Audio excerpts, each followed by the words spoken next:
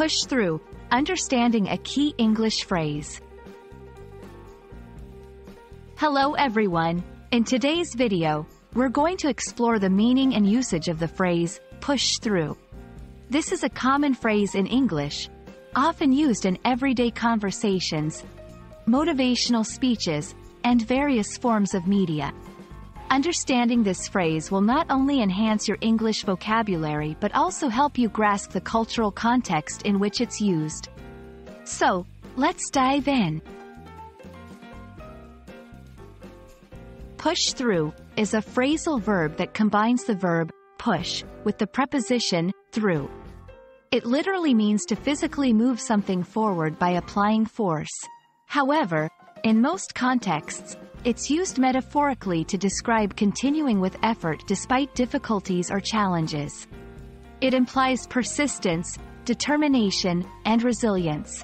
For example, even though the course was tough, she managed to push through and pass her exams.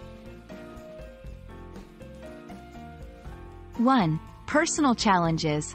When you're going through a hard time, it's important to push through and not give up. 2. Physical fitness. The last part of the workout is the hardest, but you have to push through to see results.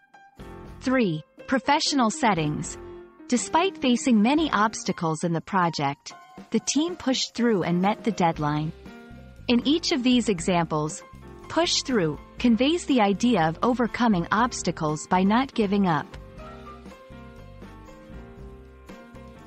Some learners confuse push through with simply push. Remember, push alone refers to the physical action, while push through is more about persevering in the face of difficulties. 1. Context matters.